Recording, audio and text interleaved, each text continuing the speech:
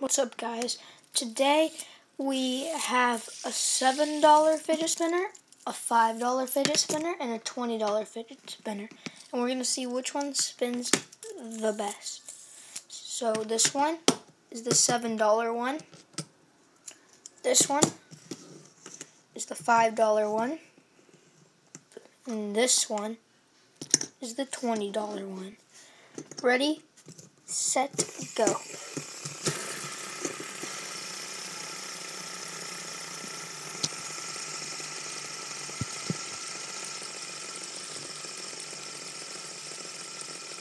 Looks like the $7 one is already pooping out.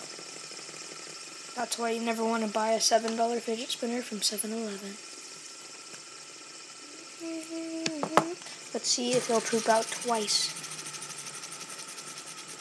Yeah, this one's not so good.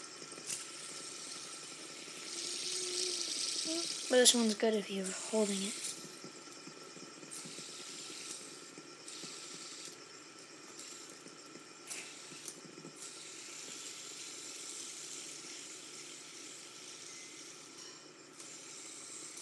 The white one's pretty good. I tested that one out.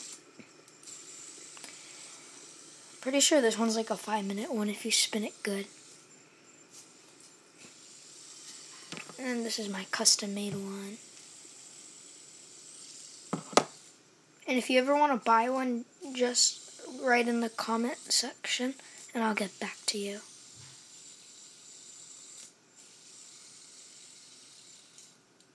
Well, I know this one would spin faster than this one, but when I was taking this one out, I accidentally hit it, so this one was kind of a dudish.